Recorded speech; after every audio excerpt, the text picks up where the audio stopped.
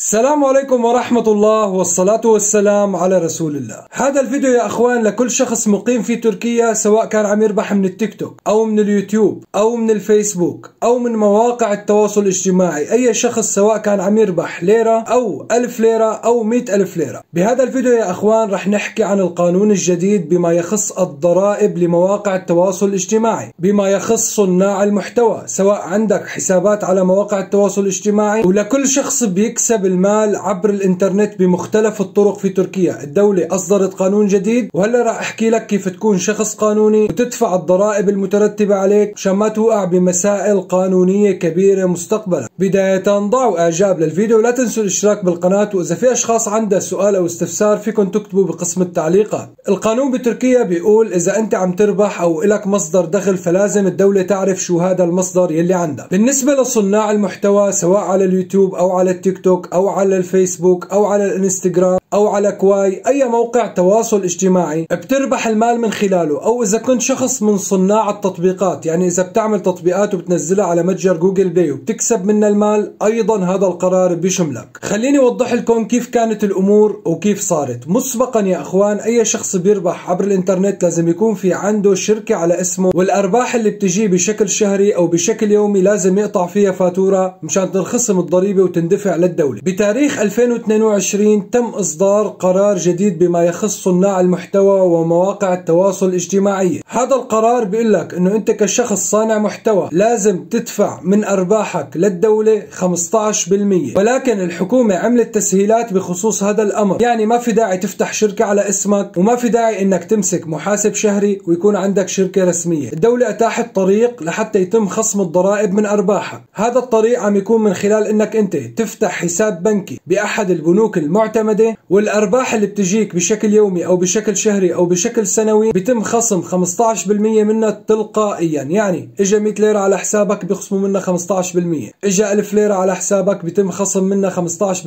مباشرة. وكل شخص يا أخوان ما عم يدفع ضرائبه. يعني إن شاء الله لو إجا ليرة ما دفع عليها ضريبة بيتفاجأ بالفترات القادمة إنه إجا عليه جزا كبير من قبل دائرة الضرائب. هذا الموضوع ما فيه مزح أخواني لازم الكل ينتبه عليه. أي صانع محتوى عم يكسب عبر مواقع التواصل الاجتماعي لازم ينتبه على هذا الأمر. كيف بدك تبدأ بعمل هي الإجراءات قبل ما يفوتك الأوان؟ هلا راح أشرح لكم كيف راح تقدموا الطلب وكيف راح تمشوا بالأمور لحتى تكون أموركم قانونية 100% والكل ينتبه على هذا الموضوع أخواني. كل ليرة بتربحوها بدكم تدفعوا الضريبة تبعها. وإلا مستقبلا راح تتفاجئوا بمشاكل كبيرة جدا. طبعا في كتير ناس ما عندها فكرة عن هي المعلومات اللي راح أحكيها. هي المعلومات راح تنطرح على ال social media في تركيا لأول مرة على قناتي على اليوتيوب. خلينا نبدأ بالتفاصيل. خطوة بخطوة وكيف رح تعملوا هذا الإجراء؟ أول خطوة رح تعملوها أخواني رح تحملوا هذا التطبيق اللي له علاقة بالضرائب في تركيا اللي تابع لدائرة الضرائب. رح تحملوه عندكم على الهاتف. وبعد ما تحملوه عندكم على الهاتف إخواني رح تضغطوا على كلمة kullanıcı giriş تمام؟ اللي هي باللون الأحمر. وهون يا أخوان رح تسجلوا الدخول على هذا التطبيق بشكل مباشر لحتى تقدموا للحصول على ورقة إعفاء من الضرائب ودفع 15% فقط. طبعا هذا الإجراء صار رسمي وأتاحته دائرة الضرائب في تركيا. رح تنزلوا للأسفل إخواني هون في عندكم كلمة إي دولت شفرة قريش يعني الدخول على التطبيق من خلال شفرة الإي دولات. رح تضغطوا عليها. بعد ما تضغطوا عليها إخواني هون رح تحطوا رقم الكملك وشفرة الإي دولات كأنه عم تسجلوا الدخول على تطبيق الإي دولات مشان يحول يحولكم على تطبيق الضرائب. بعدين بتضغطوا على متابعة وبتستنوا شوي. مثل ما لكم شايفين إخواني أخذتكم على تطبيق الضرائب. طبعا من هون بتشوفوا إذا في عليكم ضرائب أو مخالفات. وهلأ يا إخوان هون فوق في عندكم هدول ثلاث سطور اللي فوق بعضهم. تضغطوا عليهم إخواني. أنتم طبعا فيكم تروحوا تاخذوا هي الورقة وهتعملوا هي الإجراءات من الدوائر الضريبية. ولكن أنا عم بعطيكم الحل لحتى تعملوها من الهاتف وبكل سهولة. هون في عندكم خيار اسمه إشلام باشلت. بتضغطوا عليه إخواني. وبعدين هون إخواني في عندكم كلمة اسمها فيرجي اشلملري تمام؟ بتضغطوا ضغطوا عليها. مثل ما لكم شايفين يا أخوان هذا القانون طبعا جديد والكل يا أخوان يعمل هي الإجراءات مشان ما يتفاجأ بمخالفات ومبالغ ضخمة ويتعرض للمسائل القانونية.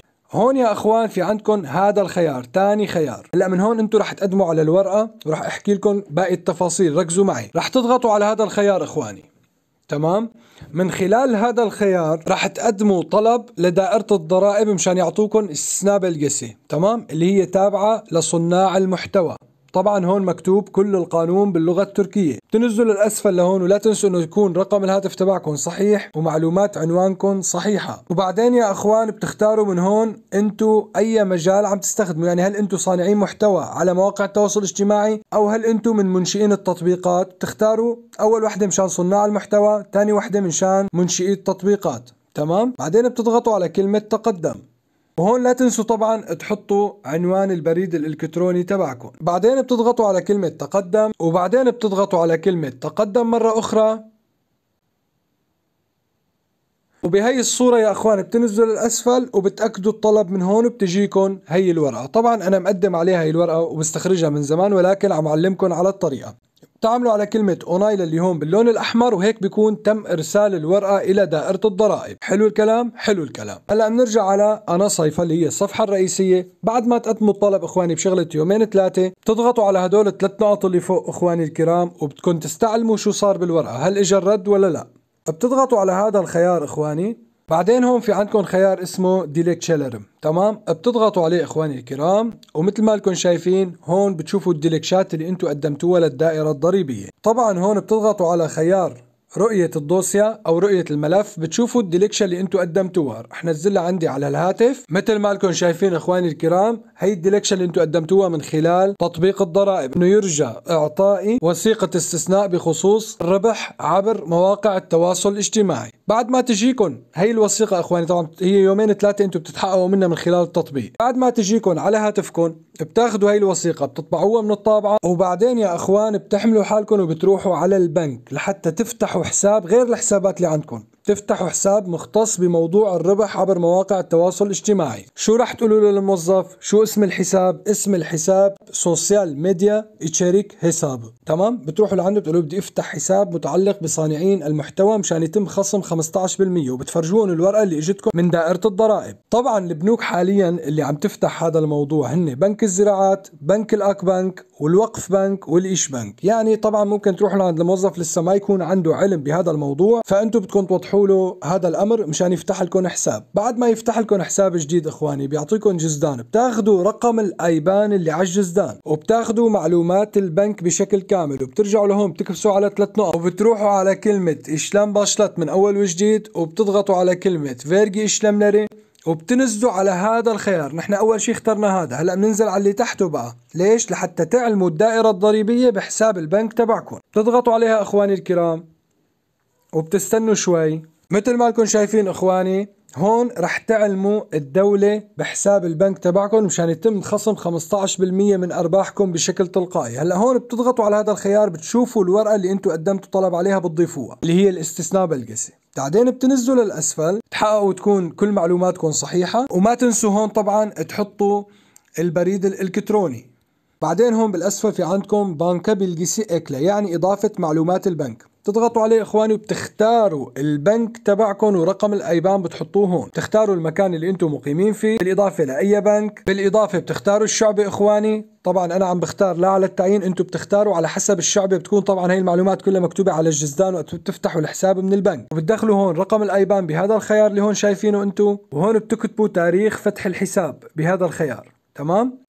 وبعدين بتضغطوا على كلمة ekle اللي هي باللون الأحمر. طبعا أنا عم علمكم هاي الخطوات إخواني من شان ما تتعذبوا ومن شان تكون اموركم قانونية. تضغطوا على كلمة ekle وبعد ما تضغطوا عليها بتضغطوا على كلمة تقدم اللي هون وبتتابعوا الطلب وهيك بيكون صار عندهم علم بالدائرة الضريبية بحساب البنك تبعكم وبتحطوا هذا الحساب البنك على مواقع التواصل الاجتماعي اللي عم تربحوا منها سواء من اليوتيوب أو من الفيسبوك أو من الكواي أو من التيك توك أو من أي موقع كان. وبهي الصورة بتكونوا أصبحتوا أشخاص قانونيين كصناع محتوى بتصير أموركم كلها رسمية من جهة القانون من جهة الضرائب ما بيعود عندكم أي مشكلة نهائيا. بهي بهي الصورة أنتم بتكونوا خليتوا اموركم قانونية والمصاري اللي عم تكسبوها. ما عليها أي مشكلة نهائية وبتكونوا مرخصة 100% من قبل الدولة. وطبعا راح خبركم بجميع المستجدات بالأيام القادمة. كل الحب والإحترام تحياتي لكم جميعا. سلام عليكم.